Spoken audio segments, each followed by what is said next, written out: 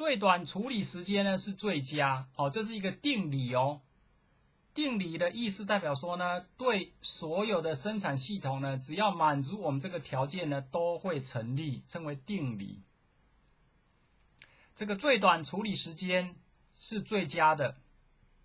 如果呢，你在一台机器上面有 n 个工作，然后你的目标呢是 for optimal for，最什么是最佳呢？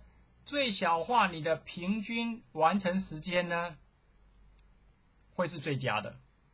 什么叫最佳？最佳就是说呢，你的平均完成时间呢，不可能比这个时间短了，叫最佳。这个神奇的地方是，对所有的策略都成立。好，有人说呢，这个是排程里面的一个非常最。重要的概念。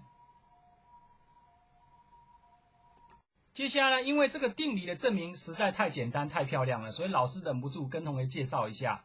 那这本书叫《Plano》，作者哈，这个排程理论演算法跟系统，现在出到第五版了。啊，这本书通常是教研究所的。他用所谓的交换 （interchange） 的这个叙述，啊。意思就是说呢，你有两种生产排程的方式。那第一种生产排程呢，就是说头尾都一样，就只有两个地方不一样。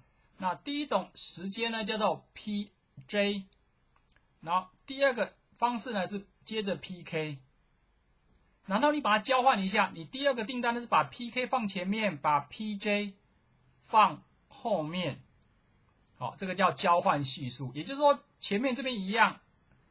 然后后边这边一样，只有考虑两张订单呢顺序交换，但是呢最短处理时间呢是这个订单呢是把它放前面的。然后呢我们要注意所谓的完成时间，所有其他都是一样，所以所有其他时间的完成时间都一样。为什么？因为到这边呢它时间是一样。不过呢，有趣的事情发生了。如果呢，你是最短处理时间往前的时候呢，这一张订单的完成时间会比这一张订单的完成时间呢还短。然后这张订单，这两张订单到这边的时间就一样了，所以差呢就差在这一张订单之间。所以这个就证明了说，最短处理时间，如果你把它摆前面的时候呢，你的完工时间呢会比较短。证明完毕。